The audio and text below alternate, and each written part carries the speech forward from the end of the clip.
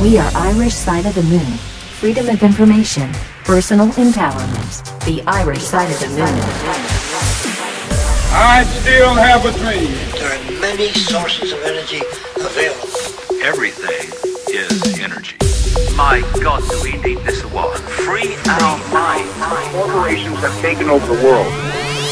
Freedom of information, personal empowerment. The Irish Side of the Moon. Hello and welcome to the show we call The Irish Side of the Moon. My name is Gabriel Logue. I'll be your host this week, back after a little break down here in sunny Lanzarote. Sunny now, uh, no chemtrails that I can see. Okay, if you're a long time listener or a brand new listener, whether you're listening to us on our own site, theirishsideofthemoon.blogspot.com, or you're downloading us from iTunes, or you're tuning in on your local AM FM radio station, hello. Thank you for coming back again and listen to some more of our meandering tales with some fabulous guests. Now, if you haven't heard last week's show, um, our very own Michael Letty interviewed Jonathan Gray. And if you want to hear any of the previous interviews, just pop along to the Irish Side of the Moon.blogspot.com. Go to uh, previous Irish Side interviews, and you can listen to any of those. And for our Facebook followers, hello. Thanks for all the comments and keep up the good work. And if you haven't joined the Facebook page, just drop along to the Irish Side of the Moon Facebook page. Uh, lots happening on the planet right now. Um, on a global scale, national scale, there's cosmic alignments, photon belts. People are talking of all sorts of weird and wonderful things, and lots of not so nice things happen on, on the planet. So, our next guest hopefully will be able to shed some light on the bigger picture of what is happening on planet Earth and indeed the whole solar system. And joining me right now uh, on the show is Mr. James Gilliland. Uh, most recently, James has been featured in John Savage's and Michael Knight's documentary Contact Has Begun, his story with James Gilliland. He has been a frequent guest on the Coast to Coast AM show and on the Jeff Rense sightings on the radio, Laura Lee show, Millennium Mysteries, Sean David Morton, and Shine Talk, where he demonstrated charging nine batteries in a row by merely holding them, and other numerous radio shows. He has been a speaker at many events and featured on the History Channel's UFOs Then and Now Hotspots, ABC and Fox News, King 5 Seattle, TV's Evening Magazine, Elaine Smitha, Delene Gates Simply Spiritual, Off the Record with Tom Lohman, International UFO Congress, and many other national and now international TV, radio, and other media events. His articles and UFO reports have been featured by Magical Blend and UFO Magazine and have been regularly featured by major UFO information outlets such as Filer's Files, UFO Roundup, COS, MUFON, Skywatch International, PSI applications, and on and on. And here he is for the first time on the Irish side of the moon, James Gilliland. James, you are so welcome. Well, thanks for having me on the show. Not, hey, my pleasure, my pleasure. Now, for anyone who hasn't heard ever of E. SETI or James Gilliland, can you give us a background um, about yourself, first of all, um, as a young, well, as a child and as a young man, and the journey you took and some of the experiences you had that led you to what you're doing? Yeah, great. I, I mean, I, I love to share this, but not with the, uh, you know, actually have a disclaimer in there too, is that I'm, I'm not anybody's guru and I'm not, you know, here for the notoriety or, or any of that, that, you know, people need to go within. And although I've had, you know, an amazing life and an incredible life and some, some pretty outrageous adventures, uh, those, you know, are really open to everybody, you know, whoever chooses to, you know, open up to these, these higher dimensional realities. But basically it began, uh, I would say that the major beginning was at the age of five when I had uh, bronchial pneumonia and I was going in and out of consciousness and having beings come to me. And there was a woman, she was all in blue, had a beautiful blue light around her and she was, you know, stroking my head and talking to me and and uh, eventually she gave me a substance that I ate that it was kind of like the consistency of ice cream. It was white, and and then I pulled right out of it. I, I was I wasn't sick after that. I didn't miss a day of school after that, and that was my first experience. you know, with with realizing that there are higher dimensional beings out there to help us. And uh, and then I went through school like everybody else and had you know all of that pretty much you know drilled out of me. Uh, uh, you know, and, and went to a Catholic school and had the had the uh, Christ kicked out of me. and,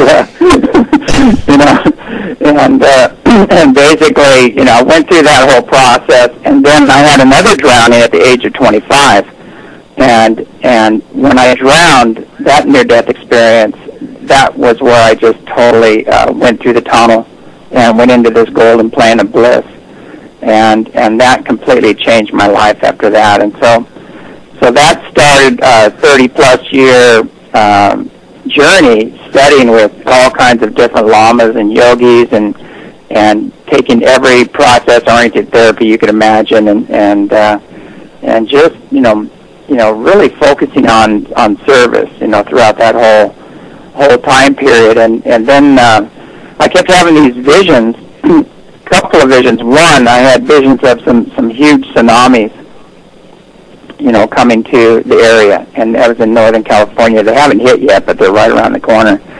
And actually, one just hit a small one, just hit and did quite a lot of damage to the to the boats and the docks and things. But you know, that was what just age? Morning. What age were you when you had these particular visions? About well, I would say, let me see, I was twenty. It happened after the near-death experience. I, I had just one vision after another, and I kept seeing things uh, in the future. You know, a lot of different visions. There's just too many to even, you know, talk about. But uh, Okay. Were you able? To, was there any time reference, or was there any point of reference uh, in the future um, associated with the visions, or were they just the visions themselves, and you you just knew they were in the future, but you didn't know when? Yeah, it's kind of hard because you see the visions and you see the events unfolding, and then you you have a feeling, and then my guides would tell me, you know, when uh, roughly when they would happen, and you know, I wrote about them back in 90, 1982, and and they're in the book Becoming Gods. And the first edition of that, I gave very specific information, dates, everything, you know, about Japan, what was going to happen there, and the tsunamis, and and everything. It's all was all in the book. And then the publishers got uh, pretty upset about that, and they they they really put pressure on me and said, st- you know, stop with the dates and and the exact places, and just give it more generic. So I did in the second book, you know, gave a more generic series of events, but uh, you know, it's it's just about all of these events I witnessed ahead of time. The San Francisco earthquake that that took down the freeways and all the other problems there. Uh, I gave that three or four years ahead of time, and and uh, spoke to all the churches, all the the uh, the basically new age or spiritual groups there, and, and told them exactly when and where that was going to happen, and and pretty much got run out of town for that one, you know, because you know none of them listened. They all said you're just creating doom and gloom and fear, and uh, and then even after it happened, there was nudity whatsoever. It was just you know attacking me saying I created it because I talked about it, and I said, well, thanks for all the power, you know, you're giving me, but. Uh, uh, you know that's not the case. you know, it's like that's the last thing on earth I'd like to see is you know a lot of people, you know, you know lose their loved ones and die, you know, pain and suffering that goes with it. But I mean that's the reason for these prophecies. That's why they're telling us and showing us, saying, hey, uh, look, you know, you you need to get busy. Either start cleaning up our act here and start getting some divine intervention in these areas and uh, we can alter these events, or or this is what's on the books, and that's the way I look at it. Okay. Um, question for you: The publishers coming to bear with the stop with the specific dates.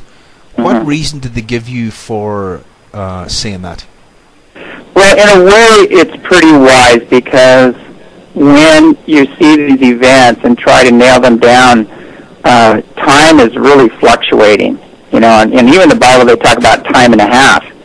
and what they're saying is that these events are on the schedule, and then we get a grace period. You know, we're actually given a grace period because time is not fixed. It can be moved, pushed forward or backward. These events in time, and uh, and and you know, there is a lot of wisdom to that because it's it's very hard to nail things down at an exact time. And and you know there would be a lot of people capitalizing on that. You know they would pull all their money out of the stock market right at that time and invest in something else you know somewhere else. And and uh, you know there's there's a lot of different reasons for that. So you know I did see the wisdom in in a lot of what they're saying.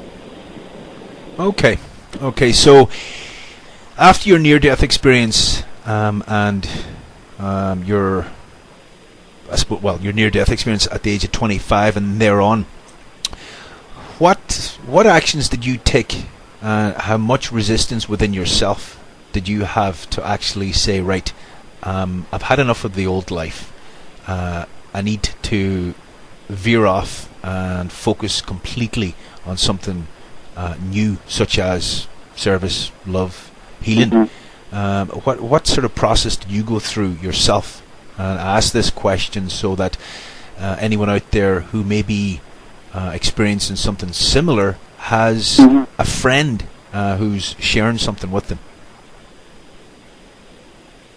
Yeah, that, that, well, basically what happened is, I know this happens in degrees to, to people. I mean, everybody's going through it right now. And they're having to completely reevaluate, you know, everything, their relationships, their jobs, how they're interacting with humanity, Earth, you know, the whole, whole enchilada, basically.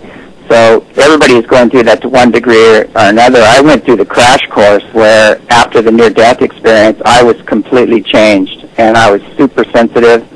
Um, I would hear what people thought and what they felt.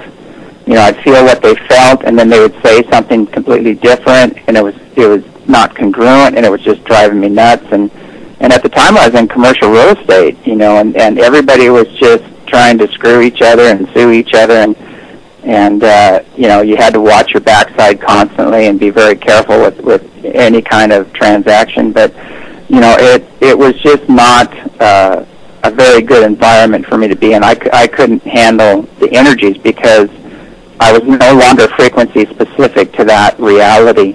And I just left, you know, pretty much gave away most of my stuff and just headed off. And I started actually doing some construction work up in the high desert uh, just to take some time to get my head together.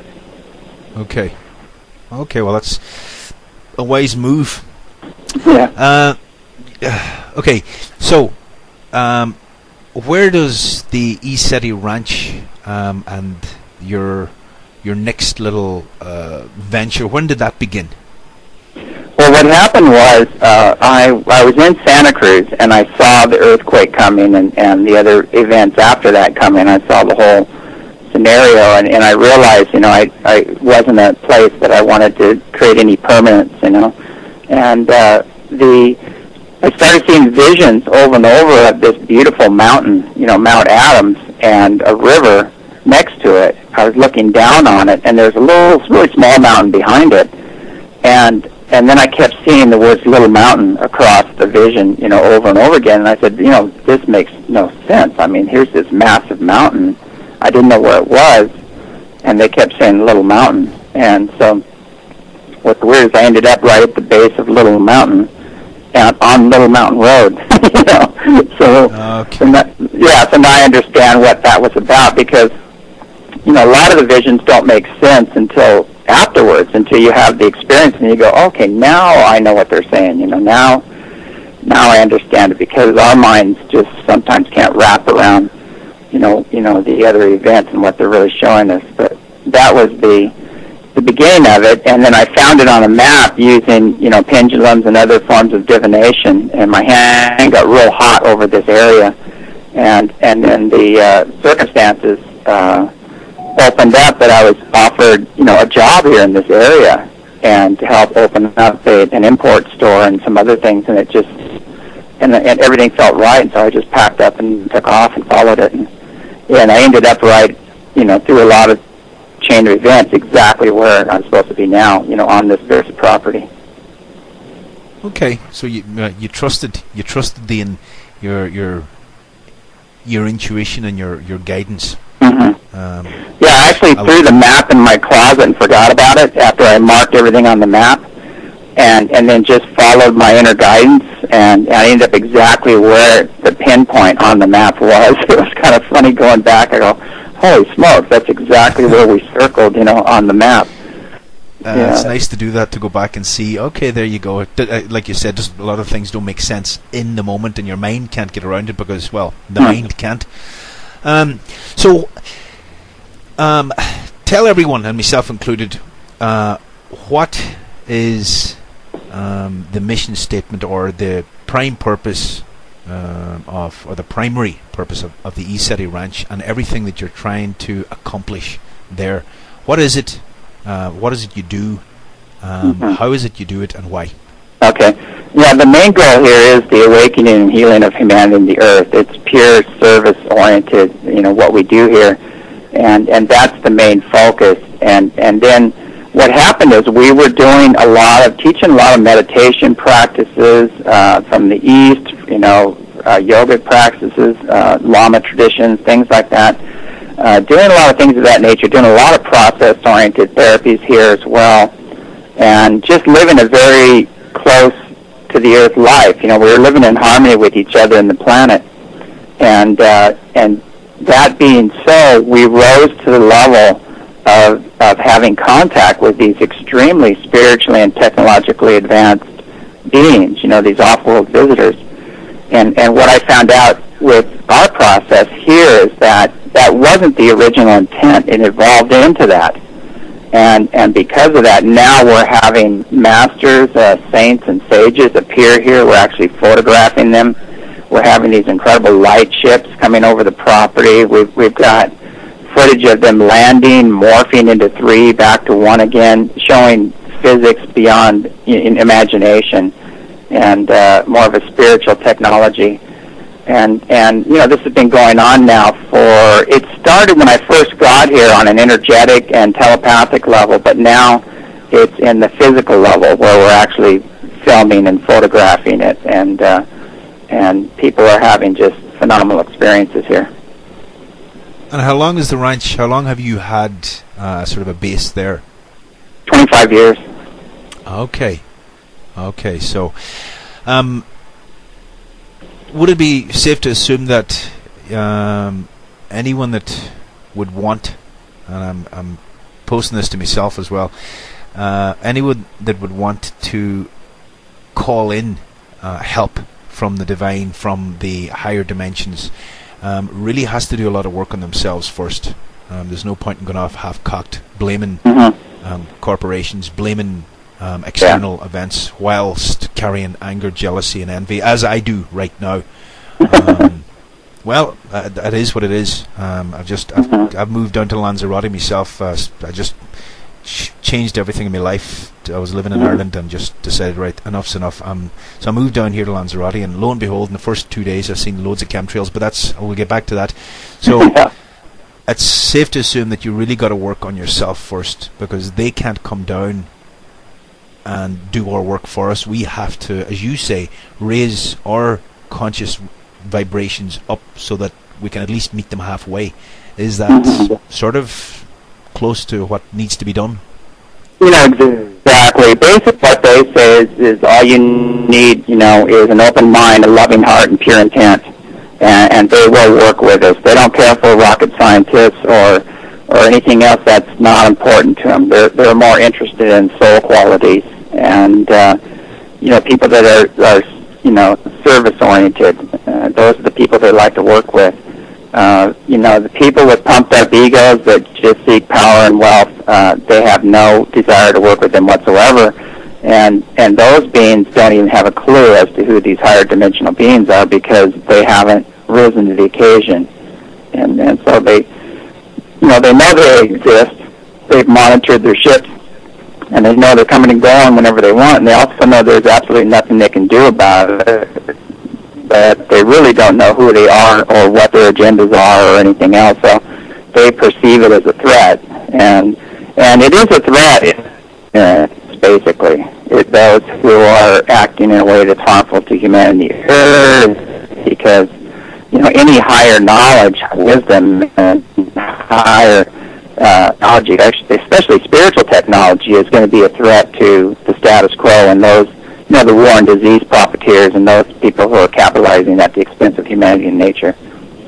Okay, when you talk about spiritual technology, can you break that into simple language for myself and everyone Mhm. listening? Well, basically, the, the easiest way to explain it is that there is a vibrational continuum. And, and if you look at the electromagnetic light spectrum, you'll, you'll have a better understanding of the different dimensions because they all fit within that. And, and just as there is all this incredible life on this third dimension, I mean, I think, I think we're up to something like 500 million uh, Earth-like planets out there that could sustain you know they've really found with the new new uh, infrared telescopes and and uh, I can't remember what it's something like I don't know how many I know they're up to like 200 billion suns in our little Milky Way galaxy alone so so I think that number's even gone up as well but I mean you look at the, sheer numbers in this third dimension and just look at the life on Earth the diversity of life here on Earth and and now they know there's at least 11 more dimensions out there, and these two are full of life. There's much life in the universe. You can't even wrap your head around it, and and to think that we're the only thing, you know, the only God's creation, you know, you know, this little ball zipping around the planet, I mean, around the sun, you know, is is it in this mass multiverse? Is just I I can't even comprehend that that that that would be the case. It, it's so, it's so ridiculous the numbers. It makes no sense whatsoever. It would be a very limited creator, you know, that would be involved in in, uh, in just creating one little speck of dust revolving around the sun in this in extremely vast multiverse. Okay. Um, and how how does that relate then to spiritual technology? What what exactly is spiritual technology? Yeah. Well, basically, yeah. I'll go further into that. Yeah. So, but so basically, you know, we are multidimensional beings existing on a vibrational continuum, and and so the way you look at it is that you take matter, you know, or mass or whatever. You have you have mass. You raise its frequency, it becomes energy. You raise its frequency one more time, it becomes light. You raise the frequency again, it becomes consciousness. So it actually moves from consciousness to light to energy to mass, and that's that's the process of creation. And our physical, we have energy bodies and we have light bodies, and, and we have another aspect of ourselves that's just pure consciousness and energy. And and I'm kind of explaining the different dimensions to different degrees, but you know there are beings out there that have physical bodies just like we do, and they have their physical craft, and we have our back engineered craft as well. We've been doing that for quite some time, and and they, there are beings that are less dense physical that have crafts that aren't quite physical, and we have a lot of photographs. They're harder to photograph because they're not quite physical, but you can see the outline of the ship. They're a little fuzzy because of the fields of energy. And then and then you have ships that are just pure energy, and you know you see them as just a big ball of energy, and that's it. And the beings on them are energetic beings. They have energy bodies, and then you have the light ships with beings with like magnetized light bodies on ships. And and those are extremely advanced beings, you know, on those ships. And then you have beings that don't even need any kind of expression at all, like form. They're just pure consciousness. You know, they're they're God beings, whatever you want to call it. You can give it names.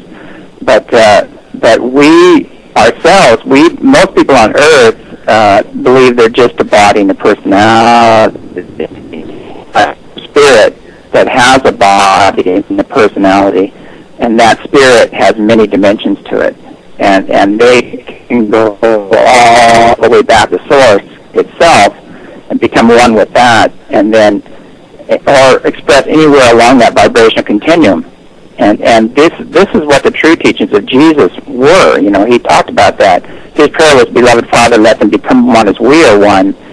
And and in his teaching, if you look at his path, his first thing he said was he said that I am the Son of Man. So his identity was the son of Joseph and Mary, and and so so he was the son of man or whatever, uh, depending on which story you believe. and then later on, he said that. Yeah, later on, he said that I'm I'm you know uh, I'm a messenger. You know, I'm a messenger of, of God, basically. So he started receiving input and messages, and then those messages, in those messages, he started passing them on to others, and he, he started realizing, wait a second, I'm I'm a spirit. I came from the source. I'm a son of God. I'm not I'm not just this body and this personality with parents. I'm far beyond that. And then the last thing he said was, I am God, you know, and they tried to stone him. But, but what he was saying is that he became one with the one consciousness that encompasses all planes and dimensions throughout the multiverse. And, and that was the message that he gave us, and we can do that. And the more that we do that, the, the greatest ship you're ever going to experience is, is this body, this soul and spirit. That's the ship that can go all the way back to the source itself. Uh, it's totally unlimited, and, and that's what I'm talking about. Spiritual technologies. These beings uh, exist along that vibration continuum. They have they have uh, some of them have full use of creational energies. They're they're beyond our imagination and things that they can do. Okay, there, there, there you go. Um, but that's that personal journey that you just described, um, Mm-hmm. Uh, Jeshua ben Joseph having, Mm-hmm. um, was possible for, or is possible for anybody, uh, if they first realize Exactly. um, that. Hold on a second. Um, yeah, uh, I have a lot of anger, or I have a lot of jealousy, or I have a lot of resentments, um, and I need to first look at that. Um, what's what's the old saying? Don't look at the splinter in your brother's eye. First, look at the plank in your own. Uh-huh. So, Yeah, so yeah, exactly. That that's happens, and and basically each one of those attitudes and emotions, you know, what we do is we help people process the wounds and traumas and wrong conclusions from past experiences, and and clean up that those those uh, experiences. And once you do that, because you know, like anger, jealousy, greed, uh, uh, oh, I'm trying to think of the other, all the you know, unworthiness, all of that stuff. You know, a lot of that unfortunately is taught in the major religions. You know, the separation game and un, you know, guilt and unworthiness and fear are the biggest ones. And you have to drop that. You have to dump that because those are very low frequency thoughts and they're holding your energy down, holding your vibration down. And so the more you release this, you know, the fear and the ignorance and ignorance and the guilt and the un- unworthiness, the more you release that, the higher your frequency goes up and you can experience more of yourself, of your true self. And and that's a lot of what we do, and, and it has to do with contact as well. Uh, you know, the, the more we release and the closer we get to enlightenment, the more we're going to have contact with these amazing beings. okay. Um, if you could, could you give a brief sort of overview um, for how the separation game is installed into the mind and energy body um, and the emotional body of a human being? So, pro- probably a lot of people out there don't realize that it has been installed, and it's like a mind, it's like a virus that has has caused the separation, and we don't even know that things are possible because we just don't know, and we don't know, we don't know. Could you give Yeah. sort of an overview of how it's done, and then we'll move on from that? Well, you know, you see kids when they're first born, you know, at the age of two to four, they see the other dimensions. They, you know, they point at beings and they'll laugh, and sometimes they get scared because some of these beings aren't so friendly. And uh, you know, they, that's pretty normal. That's our normal state, and and that's why Yeshua said you must become like a child before you can enter the kingdom of heaven. You've got to get back to that innocence and that openness to be able to experience these other dimensions. But the uh, uh, the basically the the inspiration comes through school. It's it's amazing. It comes through uh, competition. You know, getting people to start competition, thinking they're separate beings. You know, not cooperating, not working together. You know, all these programs. You know, all the way through school, even in the curriculum. You know, you're competing. You get an A, you get a B, you get a C. You're you got a C. You're just you're just basic, you know, whatever, you know, you got an A, you're good. You got a D, you're bad. You know, uh, you know, all these judgment programs and and division programs are are installed by social consciousness, and and it's a very demeaning uh, uh, process that continues all the way through throughout society. You know, and and uh, you know they they drug and lock up people that are uh, seers. You know, that have these abilities that aren't fitting in with the status quo. That can see how how uh, controlling and screwed up it is, and and it just goes on from there. And now, you know, today you look at the fluoride in the water, which totally shuts down your your pineal gland. Uh, you know, they've got chlorine in there. When you when you brush your t- your teeth, you know, you're actually getting chloroform. That's why people get high. you know, when they brush their teeth, you feel a little bit of high. Uh, there's there's like something like 800 toxins. Uh, you know, I can go on and on. All the food additives, you know, aspartame, even corn syrup, all of these things are just, you know, logging you down. You know, they're just like knocking you down.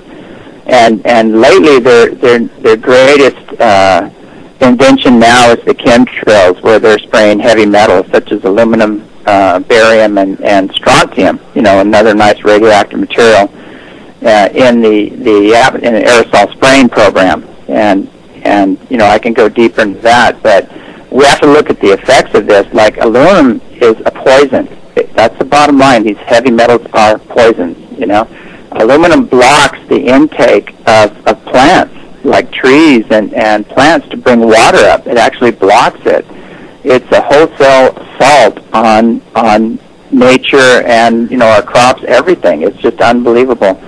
You know, barium is is they use it in chemical warfare to create all the, the flu-like symptoms. You know, the gastrointestinal problems, the upper respiratory, the you know the aches and pains and joint pain and muscle pain and everything else. It's a very very uh, uh, toxic material. And strontium, you know, we all know what know what, what happens when you introduce, you know, strong kind of radioactive material into the process. So, so anyway, these people are dumping billions of tons of this on us daily, and it's one of the biggest cover-ups I've ever seen, and nobody will talk about it. And the reason nobody will talk about it is because. Go ahead. Uh, there was a scene in passing a documentary done very recently uh, by the name of Mm-hmm. What in the World Are They Spraying or something like that, chemtrails. Yeah, what on earth are they spraying? Yeah, that for anyone interested in chemtrails, I would suggest that you go and watch that. Um, at G. Edward Griffin, try to keep, try to. I think they they tried to keep um, as close to, uh, if not absolutely on factual detail, with no speculation and no no um, jump into conclusions, etc. Just presenting the facts, and it was startling the effects of the aluminium uh, in the soil um, through various parts of the U.S. where they did the studies, um, longitudinal studies, where the the aluminium changed the pH value of the soil to such an extent that all indigenous plant and fauna would just die off. Um, and there's, I, bel I believe then another piece of information that I got an unnamed company um, uh, I think has a patent on a aluminium resistant seed. Um, in 2009 it was the the, the received the patent. Now uh, Yeah. that could be coincidence. That could be coincidence. I don't know, but yeah. So if you want to go into chemtrail, um, the aerosol um, uh, program that they sell, um, go into that a little bit for anyone who maybe has looked up in the sky and wondered what are all those white streaky things up there and why are they all sort of joining together and they look like clouds but they're not really clouds and why is the weather all screwed up? Hmm Do you want to go into Yeah, that a little bit?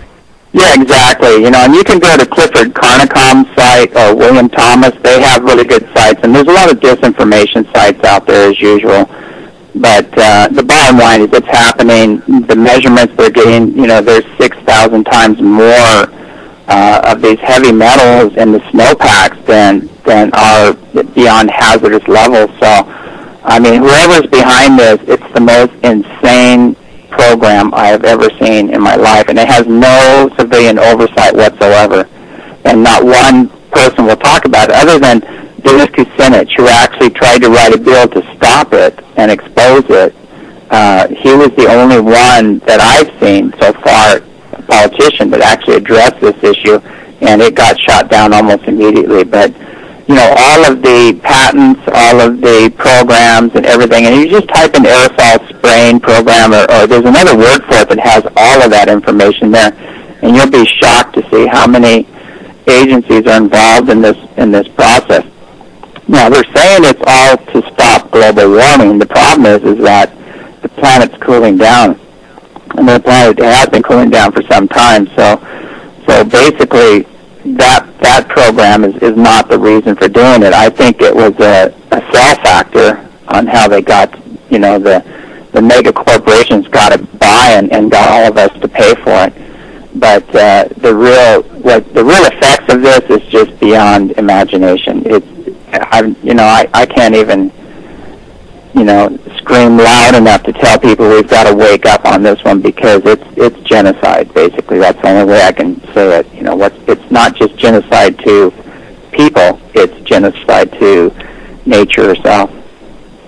Okay, let's let's play devil's advocate um, for a moment and say that some somebody somewhere with vast resources has decided, um, in their wisdom, to um, implement a program such as the aerosol spraying program to somehow uh, slow down or retard the so-called global warming. And again, the intent is to help the Earth. Now, if very quickly the results and the findings and the statistics come back saying that the the um, the results of doing this program is having a severely detrimental effect on the whole biosphere and humanity. Yeah, it definitely is. Um, I mean, that's So let's let's just say that they have they have received that. Then why would they again playing devil's advocate? Why would they go on with such a program when they know that it it shuts down the immune system, um, it affects all the bodily functions, um, it's going to kill off all the indigenous um, plant and fauna life, and indeed um, destroy crops. Um, what what reason can they can they give when the the feedback and when the results are clearly shown now, guys, this isn't good. mhm. I mean, how, Yeah, how do you keep saying basically- Yeah, here's the way it works, and and people need to understand this. Basically, all the republics that were created, you know, to serve, you know, by and of the people are gone, basically. And now what we have is corporate dictatorial democracies, and and they own the politicians, and they the politicians will do what they're told. You know, they don't get in office without this corporate funding. You know, that's the bottom line. And when you have millions and millions of dollars, probably billions of dollars in these programs that they're going to be making, uh, these mega corporations are soulless. They they care nothing about humanity and the earth. They all they care about is profit, and they're going to push it through just for that profit. And and that is the really sad situation that we have on the planet right now is that the majority of the planet is governed by these soulless corporations, and at the top of these soulless corporations are some very soul, soulless men. And and I actually think these soulless men are actually being guided by other forces that are unseen, that are that are, are very very negative. They actually feed off of the pain and suffering of the people, and and would like to see the majority of us gone. You know, so that's the only thing that makes sense because this, when you look at all the evidence and what's happening there, you can't deny the evidence. I mean, the, the metals are there, and you see them being sprayed. There's no way they could get to these mountaintops. I mean, nobody's run up there with bags of aluminum and spreading them around on the mountaintops. You know, that it doesn't happen that way. So you look at all the evidence, and it all points to a huge global faction that is behind this and that global faction points to the major corporations and just a few individuals. And I think those individuals are are totally possessed. I think they have no uh, they they have no respect for humanity whatsoever. And also, most of humanity have become the enemy because when humanity awakens to what they've done and and what they've been doing, then there's going to be, you know, hell to pay basically, and they know that, and they they know a great reckoning is coming. So basically, the majority of humanity has now become the enemy to these, these certain elite individuals that have just run amok for so long on here. Okay, James, time for a quick break. Um, folks, we'll be right back with James Gilliland uh, with enlightened contact with extraterrestrial intelligence. Um, hold that thought. We'll be right back. You're listening to The Irish Side of the Moon. You can hear our new episodes every Monday on radiomedia.org and irishsideofthemoon.blogspot.com. You can also download episodes from iTunes, Stitcher, and many other sites. You can follow us on Twitter, you can join our Facebook group, and if you're already in the group, don't forget to invite your friends. If you have any ideas for future guests on the show, send an email to shane at the irishsideofthemoon.ie. We are Irish Side of the Moon. Freedom of information, personal empowerment. And folks, you're welcome back.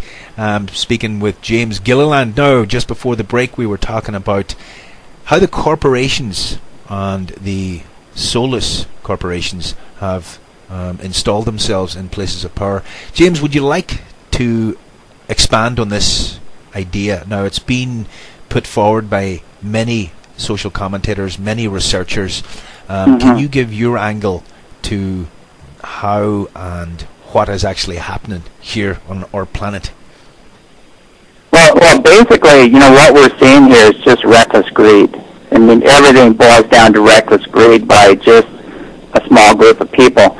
But, you know, humanity has its part to play in that too because, you know, in ignorance, they, they, they are actually becoming willing participants in these programs that are extremely harmful to humanity and the earth. You know, a good example is, is you know, these nuclear facilities. Uh, you know, the higher beings have been screaming, don't go there, do not play with this energy. It's a very deadly energy. You can't get rid of it. You can't deal with the waste. Uh, you should not be using nuclear energy, you know, and, and they've been screaming, get rid of your nuclear weapons. You know, they're, it's a no-win. There's nobody that's going to win a nuclear war. Nobody wins. The whole planet goes down. So, you know, basically they they've been very adamant about this, but you know, these mega corporations and their bot scientists and you know their PR spin doctors out there keep selling us this this nonsense, and they keep building these. And, and you know, it's on the books right now. They want to build the exact same reactors in Texas right now by the exact same people that are that, that are in charge of this huge nuclear meltdown in Japan. And and when you look at that, you go, well, that's unimaginable. But they're still pushing to get this through. Why why would they be pushing to get this through? The same thing with the Gulf oil. I mean, they totally killed, you know, an ocean there, and and and the Corexit and all the other stuff they dumped in there is still there, people are dying, dropping like flies. And they're trying to say it's a flu or whatever, you know, they're trying to call it something else, but it's a direct result of the, the things they sprayed there and the bacteria that they sprayed there that are attack carbon-based life forms. Well, guess what? We are a carbon-based life form, and when that bacteria gets in our system, it takes it attacks us and it takes us out. So, so you know, it's the, the insanity behind this, what they're doing, and now they just said, yeah, go for it, start drilling. You know, drill some more wells out there. You know, we we didn't totally finish off the ocean. We want to we we got to get in there and uh, and and totally destroy it. Uh, you know, it's it's just pure insanity. Uh, you know, and if people haven't figured this out yet by what is being shown to them, uh, and that they keep ex- ask, thinking that some angelic master or ET is going to come down here and fix all this for them, you know, they're they're off the rocker because you know, they've been told over and over, they've been warned about this, they continue to support it, be willing participants in it, you know, even pay for it. And uh, they're allowing themselves to be led by these psychopaths down this social, economic, and environmental uh, collapse. And, and as long as the people are, are not going to rise up and wake up and figure out what's going on, that's part of their lesson, it's part of their evolution. So, you know, I feel like if enough people figure it out and wake up and start asking for help and, and start acting on this, uh, then the help is going to come in and, and all of this can be easily cleaned up. Okay, before we get get into the how people um, can tune in and ask for help, i.e., use their use their free will properly. Um, can I talk more about um, I think tsunamis and the Oh yeah. the Japanese nuclear um, problem right now? What's what's happening there from from your perspective, from your yeah. picture? I'll tell you from my perspective, what I've seen there is, is basically there's a lot of things happening that people aren't seeing behind the scenes. And one is there was a, a major HAARP signature there. The cloud formations were there.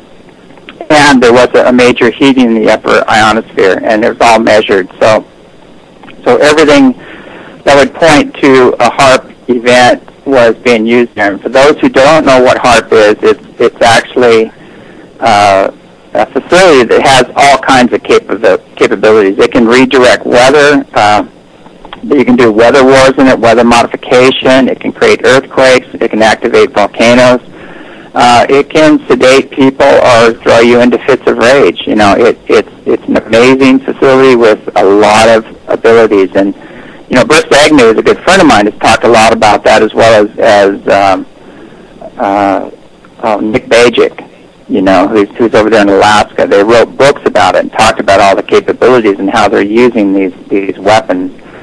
And and so that's one thing we need to factor in there uh, and take a good look at that. Now the other factor is is that Japan, in their parliament there, they were having talks about 911, how it was an, an inside job. Uh, who was behind it? You know, they brought out all the evidence, and they said it's undeniable that that this whole thing was orchestrated, and and that's that's a major uh, thorn in the side of the controllers of the New World Order boys. You know, they don't want that coming out, and and they also said, you know, screw you to the banksters, basically that were taking over their entire monetary system. Uh, and they said, no, it's not going to happen. So they had a couple lessons on that agenda, you know, that arena as well. And then there's another thing going on there too, is that they're coming out with all these magnetic motors and water cars and all this incredible technology there, which is another big thorn in those who want to keep us enslaved through dependency. So when you factor that in together, and and it's a much bigger picture than, than even just this. I mean, this sounds like conspiratorial thing, but I'm just giving you the facts, and you can make up your own decision. So, so basically, we also had the ninth wave that the Mayans talk about hit March 9th. And, and I went on record and told a lot of people, including friends over there in Japan that are helping people right now, that this event was going to unfold. And, and I said, you know, it's coming in right after the 9th. Uh, and, and so, so basically this huge gravitic wave came through on March 9th. It's called Unity Consciousness Wave. It's, it's a time compression wave that, that's going to speed things up very fast.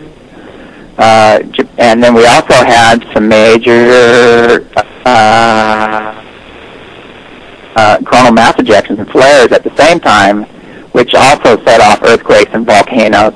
And it's an opportune time to use your other toys, you know, to set something off wherever you want it uh, to, to fit your agenda. So a lot of different things happen there all at once to set that scenario into play. And, and I have a feeling there was also some major interven- intervention because the powers that be wanted Japan to be underneath the ocean. Basically, that was their plan to make it go away completely.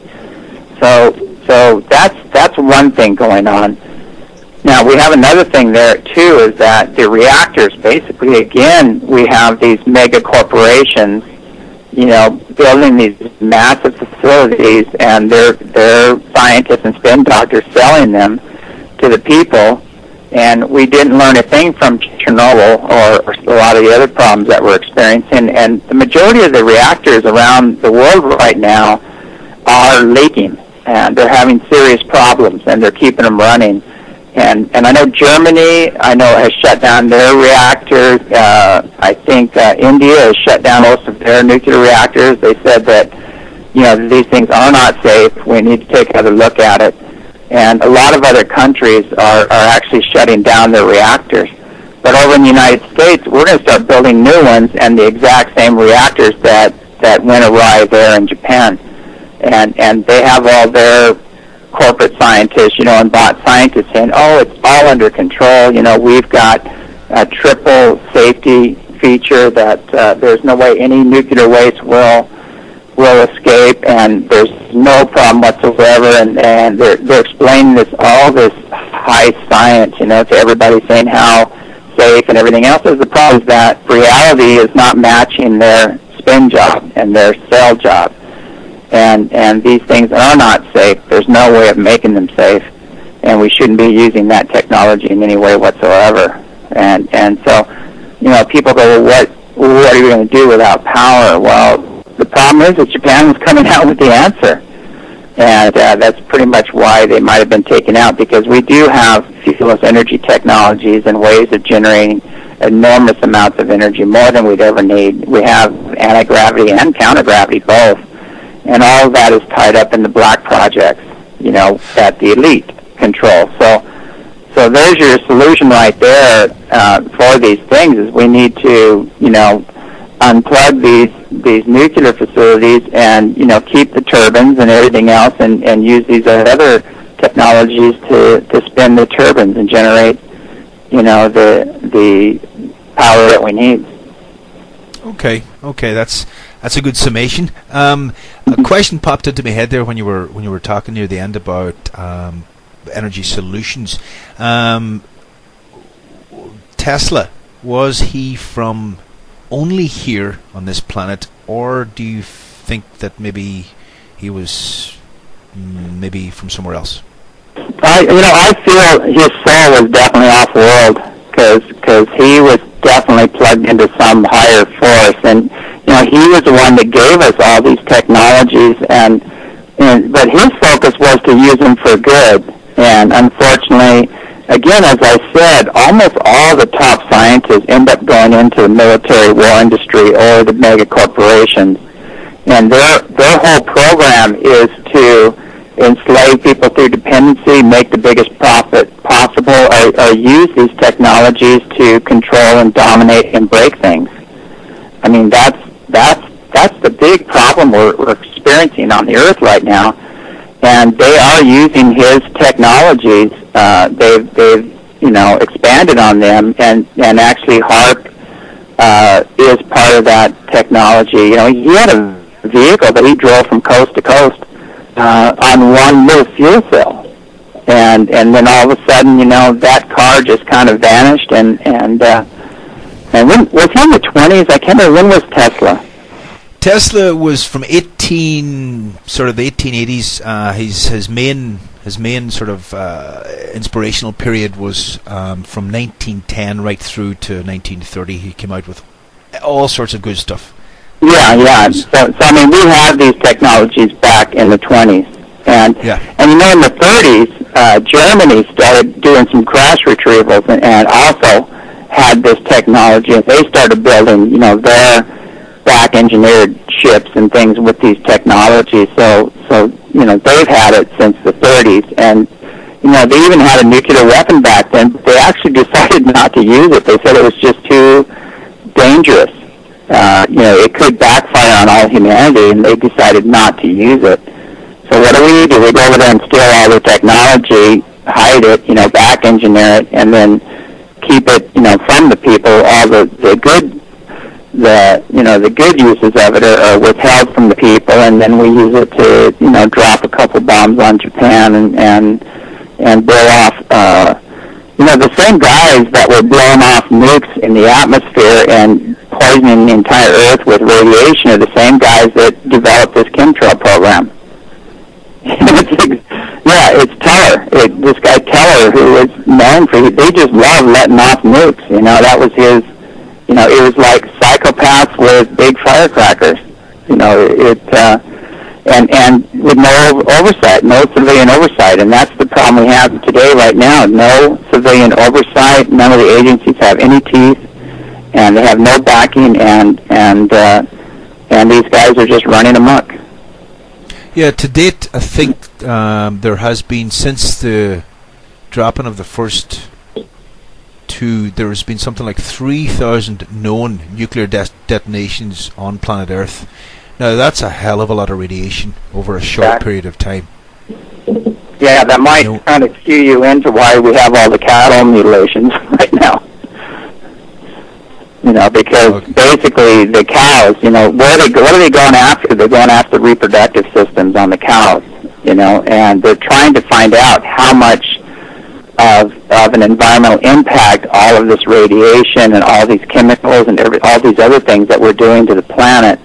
You know, that's why they're snagging these cows, and that's a joint effort with some low-level ETs and our own government doing that one. Okay, that sounds like a good segue into the next segment. Um, so let, let me recap the the problems that uh, we are facing uh, as a race, or as a number of races possibly on this planet, um, is greed, um, anger, lust, procrastination, sloth, all the usual, um, insanity, uh, Yeah. possibly possibly being um, ushered and prompted by other entities that can feed off all the byproducts of those uh, um, processes. Um, We have individuals. Um, the only way out of it is to start to look at yourself before you um, point and blame anything on the outside. So that's just sort of me recapping of what, what we've gone over here. Yeah, there's Uh, one thing one thing I'd like to add too, and this this might upset a lot of people, but uh, a lot of the New Age teachings have actually been funded by uh, certain alphabet agencies, and there's a book called Stargate uh, Conspiracies that covers this whole thing, and and one of the things that they push very hard, and I'm not saying I think the New Age is wonderful. I consider myself part of it, but there's some real fallacies that have been interjected into this, and one of them is that you know the negative doesn't exist, and if you see it, it's in you, and you're creating it by looking at it or addressing it, and so you're supposed to live in complete denial of it and uh, act as if it doesn't exist whatsoever, and and that gives these these forces total uh, reign, uh, unchecked reign to do whatever they want, and and I think we need to take a hard look at that one and say, wait a second, wait a second. Uh, you know, I didn't build these nuclear reactors. You know, I didn't build these these uh, atomic bombs.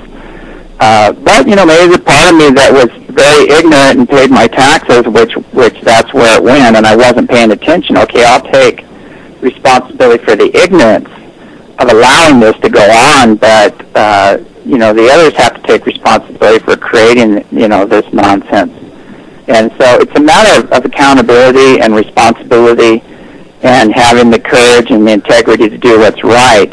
And you know and and and actually standing up to this nonsense. It's it's pure insanity. And, and if we want to let these the leadership take us in the downward spiral to total social, economic and environmental collapse and, and be willing participants in that, then we have, you know, the reaction to that or that experience and if and if we want to stand in our courage and wake up and just say, "Hey, this is wrong. This is not right. You know, we shouldn't be building these things." Uh, then you know, I think that's a much better path. And and one more thing, you know, these these corporate scientists that are coming on and saying, you know, nothing's wrong. Uh, this is all contained. Nothing's going to happen. Don't worry about anything. You know, my my thought to them is that I think we should buy them all a first class ticket to, you know, Fukushima, and have them all hold hands and talk about it. You know, around the reactors there, and then and then maybe take all that nuclear waste and the meltdown material and just dump it in their in their uh, mansions, you know, in their backyards. You know, just let them figure out what to do with it, and and that would solve the problem right away. Sounds like a solid plan. yeah. Yeah, and if it does, and you know, and, and if all this stuff doesn't exist, and the people say none of this is happening, it's all your imagination, it's all illusion, you know, get them a ticket there too, you know, because it is happening, and we do have physical bodies, and we live on a physical planet, and we need, and this 3D reality called Earth is just as godly as any other reality. Okay, okay. Um, moving on swiftly, um, just like some of the craft. Can you can you get into uh, the some of the weird and wonderful things that you began to encounter um, at or, around the ranch, and bring us through. Uh, I suppose from start and how it progressed and how you and your uh, your friends there um, did your work to aid in that contact. Well, basically, the the first contact came, you know, in the 25 years. I think it was right around the 10 year period when I was here, and I was doing, you know, I was meditating three times a day and and really working on cleaning up my own act, basically. And what happened was. Uh, I was in an all-day meditation, and I was like halfway through it, and, and uh, all of a sudden I started hearing, you know, a telepathic message coming to me. Uh, very loving, you know, very concerned, you know, very loving, and you know, it sounded like you're talking to a master, like an angelic master or something like that. And uh, you know, they were talking about, you know, how much they love me, and I could feel the energy coursing through my body, and and uh, and they were talking how much they love humanity Earth and how they're extremely concerned with where we're going and you know how we need to clean up our consciousness and clean up our environment and and bring back Eden basically. That was their message. And and so I was trying to find out where they, who they were and where they were coming from. And and when I asked them you know who are you? Like where are you coming from? They said we're actually fifth dimensional beings. And and uh, they said that uh, we're actually coming from a ship, and and that's that's when I felt I totally lost it. You know, my imagination had run amok, and I broke off the meditation. I went outside to to plant some trees, and my sisters and some of their friends came running up. I didn't even make it to the door, and they're banging on the door, and they go, "Do you see it? Do you see it?" And I said, "See what?" And they said, "There was a ship hovering over the house." So, so that was my first encounter uh, with these beings. Uh, the that I had to realize that there are these extremely spiritually and technologically advanced beings that many of us would think they were angelic or or masters, you know, uh, you know, because of our program. But I mean, there's a whole universe of these beings out there, a multiverse of them, and they're they're coming in now to assist humanity and the Earth in this major birthing process we're undergoing. And okay, so you thought you lost it, but obviously, yeah, yeah, right. Uh, okay, can, for my own benefit, what what aided you in um, referencing for yourself that hey, listen, I haven't actually lost it. Um, in fact, I'm just gaining it now for the first time. What what was useful for you um, at that time?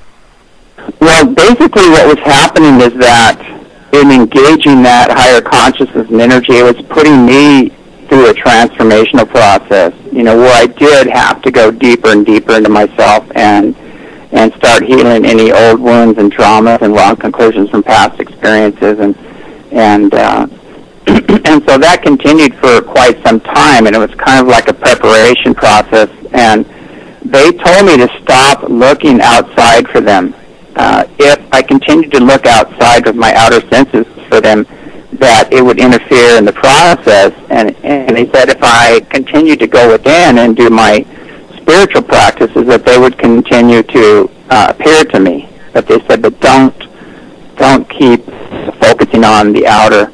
You know, it's an inner thing. And so so basically I did, and the more I did my inner work, the more they would actually show up and appear and show us their ships and, and a lot of people witnessing this, you know, as it was ongoing. So it was nice to have that uh, that support system there with with uh, and so I was having all these phenomenal interconnections and telepathic messages and everything else going on where other people were actually seeing the ships, you know, to validate it.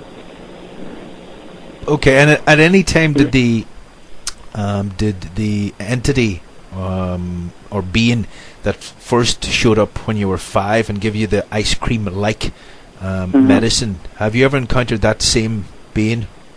I, I have actually. She's appeared here at the ranch, and we've we've actually photographed her, and it was Mary. Okay. Okay. Um, okay, so that was the next sort of phase, and yeah, well, this, this seems to life's just a, a journey. Um, Yeah. Well, that's that's what I do. Is I tie it all together because what's happened in our past, we had a lot of events that we experienced that were recorded, and if you go into all the ancient Vedic scriptures, you know they talk about over 400,000 humanoid beings existing, you know, in the universe, and they talk about their ships, the types of ships they have.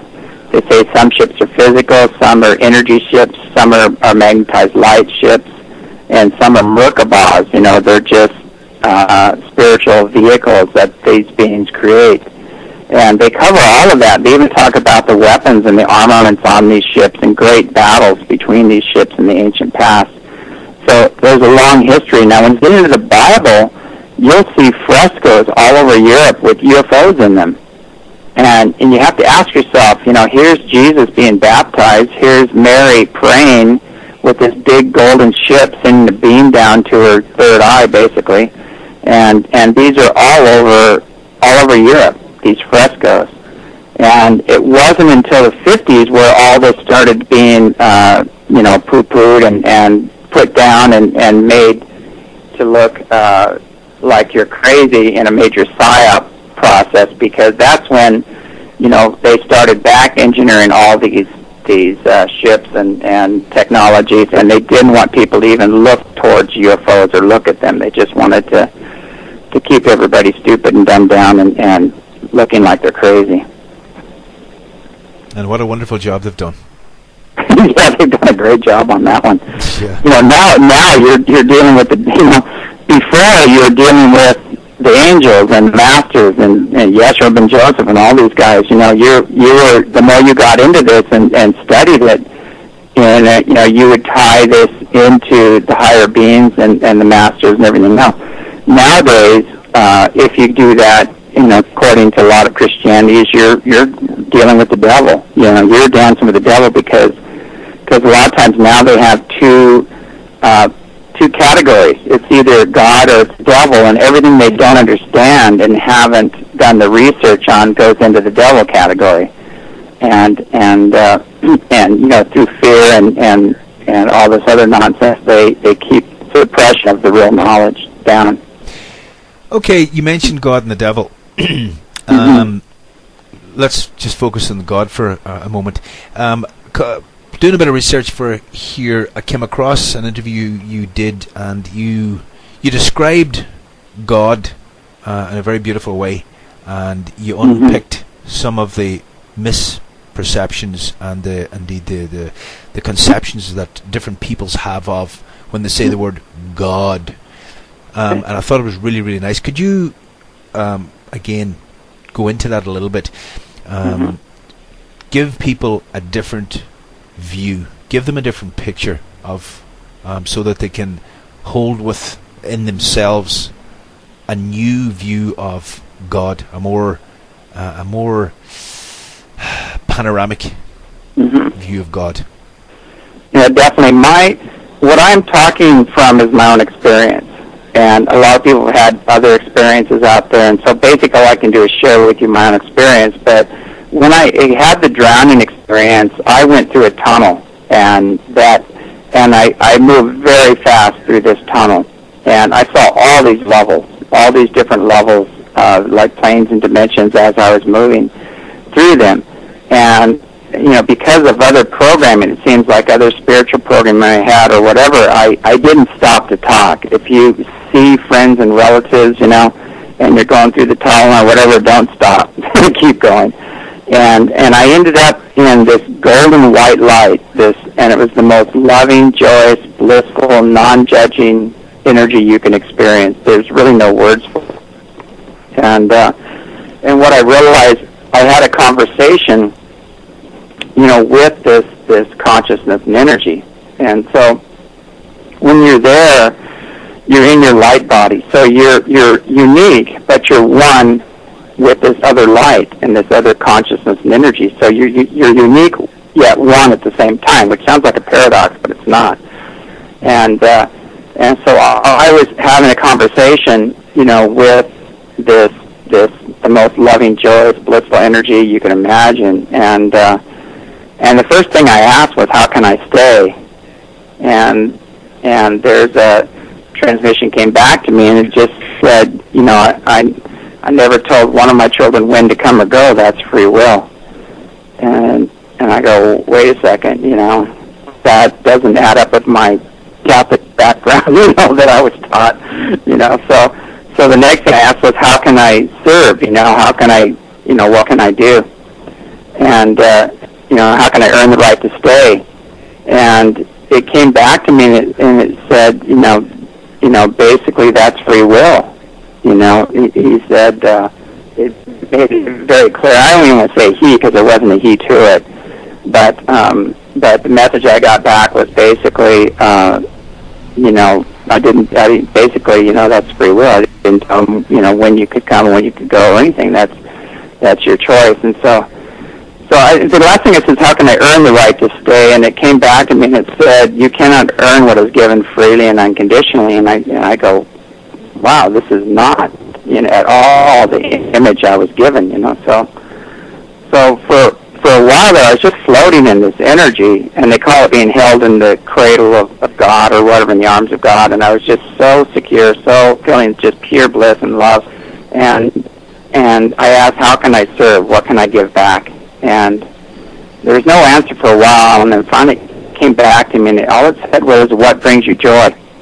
And I thought about it for a while, and then I said, "I really want to return. I want to return to the earth and teach people uh, the true nature of, of God or the source and what it really is."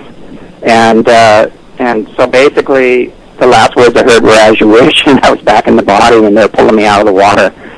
And and from that experience, I realized is that the source is just this pure, loving, joyous, non-judging being, and that just wants us to be happy. Basically, you know, that's the bottom line, and and do what brings us joy. And the more we do that, the more we're in love and joy and bliss, the closer we are to the source. And that that is the teaching. You know, that's that's the bottom line, and that's what almost every master on the planet is taught and and those teachings have been just totally twisted and used and abused by you know kings and institutions since then. So you got, whether accidentally or not, um, a full understanding of what free will is really about through your Mhm. near-death experience.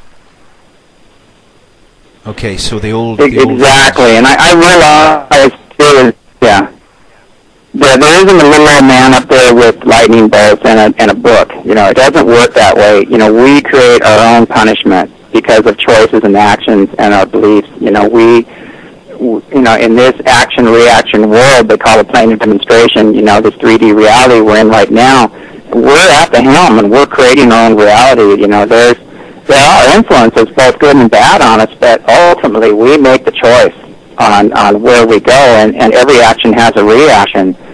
And, and so it, it's not, it's just built into this system. But uh, it's not this, this being up there, uh, you know, passing judgment, throwing lightning bolts at people, you know, and punishing people. It's just, it doesn't work that way. It's, it's uh, you know, we create our own punishments. Wow. Um, karma. Um, a quick, Yeah. a quick 101 on karma. Now, there's again, people have uh, various Mhm. concepts, um, such as you know when they, when you, when you say the word God, it, it's it's like a it's, it becomes a noun, and karma has become a noun, and there's various Yeah. different types types of karma. Again, from your experience, you can only share from your own experience. What what is um, Mhm. what is karma and how does it play out in one lifetime and maybe how does it play out in multiple lifetimes I the way I experience it is, you know, even Yeshua ben Joseph talked about that.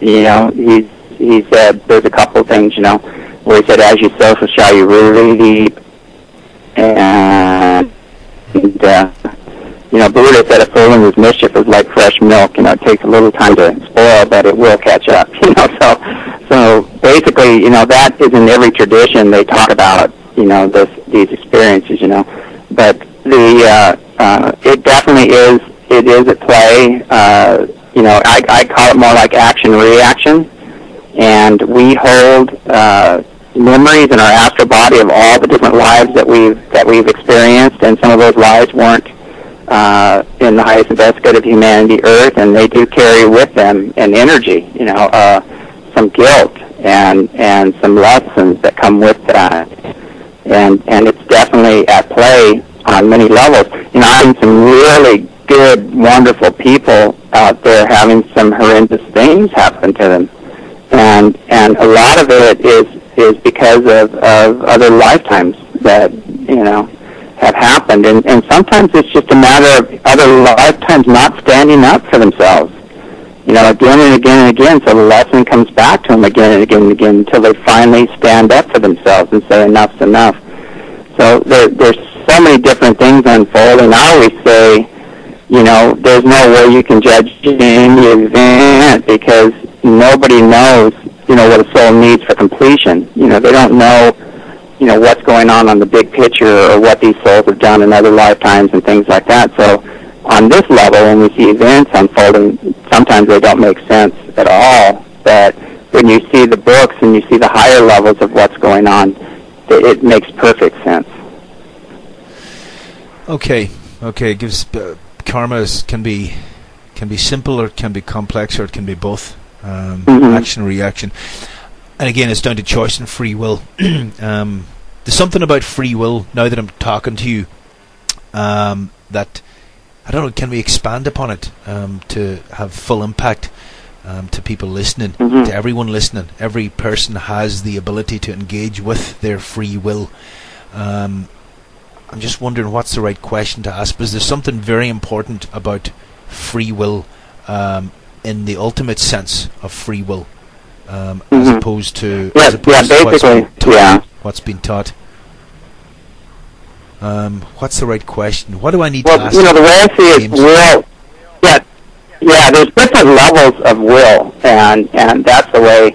And each level is just important. So, so basically, the way I see it is, we make choices, and and a lot of us, you know, unfortunately, won't hold God or the devil, you know, accountable, responsible for the choices that we make, or, we hold hold others or blame others, but you know, in each case we make a choice, and that choice has consequences. You know, either good or bad. You know, I don't even like to use the word good or bad. You know, either lessons or no lessons. I don't know, whatever word you want to use.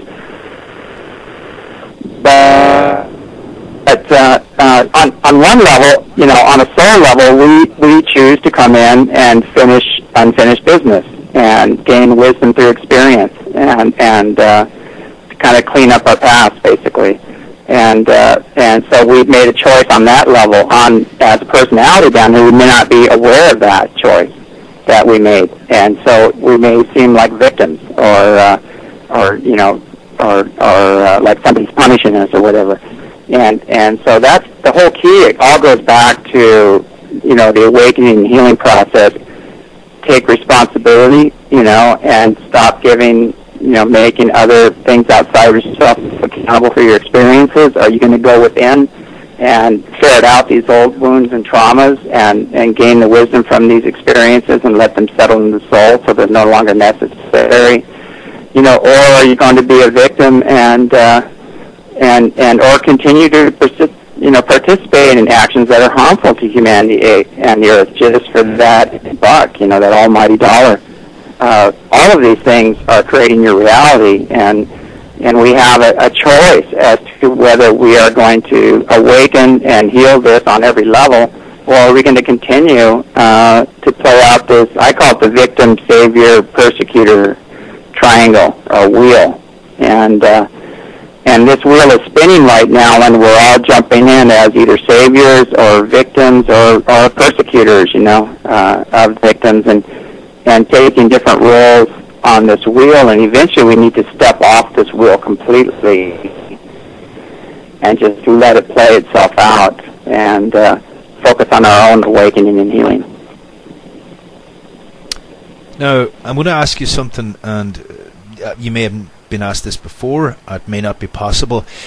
Um, could you take a little time um, to maybe tune in uh, and do a little healing meditation for a couple of minutes uh, online, uh, on air right now. Would that be possible? Um, and f- if anybody can join in and stop whatever they're doing, um, obviously pull over in their cars. We don't want that. W- could would that be possible, James? Well, you know, it could, but uh, I don't know. It's kind of interesting. I do a lot of these, and actually, I'm going to do one today uh, at seven o'clock tonight, our time, which is going to be a world healing meditation, and actually focusing in on Japan, and a little bit of a talk in the beginning to let people know what's going on. But uh, you know, we do those here on a regular basis. Uh, you know, so people can tune into that one tonight, or uh, I, I think it's most important right now is that people learn to heal unseen negative influences. That is is one of the most important things that I feel right now because you know we do have an emotional body and a mental body, and although some of these entities, you can all discarnate spirits, you know, everybody has different names for them uh, they they don't have a physical body, but they still have a mental and emotional body. And sometimes people feel their emotions and their thoughts and act them out, and not even not even know where these feelings are coming from. So they'll they'll be feeling excessive fear or guilt or anger or a lot of these energies, and it may not even be their own. And and, and that's what we one of the things we teach here, even before teaching meditation is how to heal these unseen negative influences and keep your fields clear. And, and uh, that is one of the main problems, I think, on this planet is people are being influenced by by other levels. And again, I don't want to support the victim program or anything else because we have a choice whether or not we act on these influences or attune to them. So, so you know, I think it's really important for us to tune to the highest consciousness and energy and keep healing these these the low level energies, you know, the, the fear, the guilt, the unworthiness, all these other energies that are coming at us and, and, uh, and within us. And, uh, you know, ascend to the highest level that we can attain, basically. Okay, and who's or what group or what what entities or what um, what energies? There you go. What energies are good for people to um, sit and meditate on instead of sitting and ruminating on their on their problems and their Mhm. um, so-called afflictions, um, to sit and meditate, be it five minutes, twenty minutes, half an hour. Um, where's a good starting point to tune in to a really loving energy, um, Mhm. and basically ask for a little help. Again, Yeah, engage yeah. with the f- the use of free will. I mean, Mhm. the, the, as Einstein said, the the solution is going to have to come from a different level that the problem was created in. So, exactly. what's what's what's a good one to, to start with? Well, basically, you know, one of the lamas I study with, I love what he said. He, he said that that basically, uh, he he said the reason there's so few enlightened people on this planet is because it's so damn simple, and it's not a huge mental construct or path with all of these names and images and BS that you have to figure out. You know, he said all you have to do is focus on love and joy and bliss until you become it and he said there lies the awakening. So, so on the premise of that, within each individual, there's this totally loving, joyous, wise, and powerful manifesting God or goddess, you know, waiting to unfold and come forward. And uh, but you know, we've only attuned to maybe our our personality self and our physical bodies, not realizing we have a spirit body, and that body is connected straight into the source. So, so basically, you know, as all the masters said, you know, even Yeshua ben Joseph says the temple is within, and and that you know basically God is within, and and the way I see it too is it's both. Basically, the the Creator is omnipresent within and without throughout all creation, but the way you access that is by going within and and doing your meditation time, and and so I think the most powerful meditation is to begin by holding that image of this this loving, joyous, powerful, manifesting God or goddess within, and, and know know that the ultimate power is love, and love serves. It's not like you're going to have power over others. It doesn't work that, that way. If you start using power over others, you've missed the mark, and you're going to have other entities jump in. You know, so as soon as you shift from service into into self-service and self-aggrandizement or the need for notoriety and things of that nature, then they've got you. You know, so you have to be very, very vigilant on that. You know, because there are both sides of the fence that want to jump in in this program, and and uh, so it's, it's very important that that people you know focus on on you know service, you know love, joy, bliss, and service, you know as as first priority. So so you can also use other masters that have a long track record of this, you know, such as Yeshua ben Joseph or Jesus or Buddha, you know, Mary, if you want to connect to the divine feminine, there's all kinds of archetypes out there that represent this. And so, depending on your culture, you can choose one of those archetypes. But Okay, that so the main well. thing is main thing is just do it.